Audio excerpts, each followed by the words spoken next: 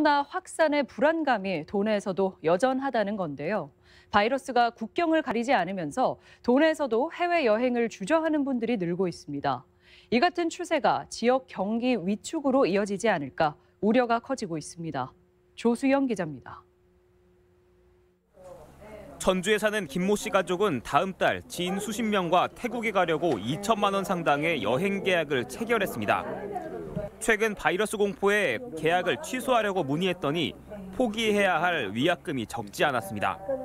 그 30일 이전 취소를 하게 되면은 환급을 다 해줄 수 있다라고 이렇게 답이 나와야 하는데 1인당 25만 원에서 30만 원 공정거래위원회는 천재지변이나 정부 명령으로 여행 목적을 달성하기 어려울 때 환불을 권고하고 또 남은 일수에 따라 환급 비율을 정해놨는데 여행사가 더 많은 수수료를 요구하는 탓에 분쟁이 생기는 겁니다.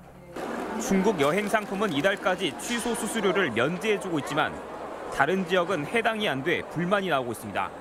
소비자 센터에 접수된 전라도 소비자 상담 건수는 작년 이맘때와 비교해 8배 가까이 늘어났는데 최근에는 동남아 여행을 취소하고 싶다는 문의 전화가 늘어나는 추세입니다. 위약금 기준이 적용이 되나 간혹 어, 특별 약관을 내세워서 과다한 위약금을 청구가 되는 경우가 있습니다. 이런 경우에는 저희 소비자 정보센터를 통해서 여행업계도 곤혹스럽긴 마찬가지입니다.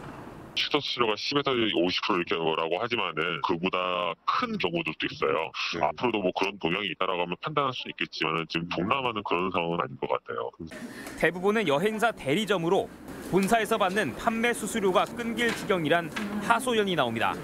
동남아 취소들도 영향이 많이 있었어요. 거의 다 어쨌든 취소가 다 항공이랑 연관이 돼 있다 보니까 항공 환불은 조금 지연이 되고 있다고 들은 것 같거든요. 이달 임대료부터도 사실은 걱정이 돼요. 비축해 놓은 걸로 이제 쓴다고 하면 과연 몇 달까지 버틸 수 있을까 이런 것도 사실은 겁이 나긴 하는데 규모가 더 큰 여행사들은 막막하겠죠. 군산공항 하루 이용객도 작년 이맘때 900명대에서 반토막이 난 상황. 위축된 여행 심리에 지역 경제까지 얼어붙는 건 아닌지 걱정이 커지고 있습니다. MBC 뉴스 조수영입니다.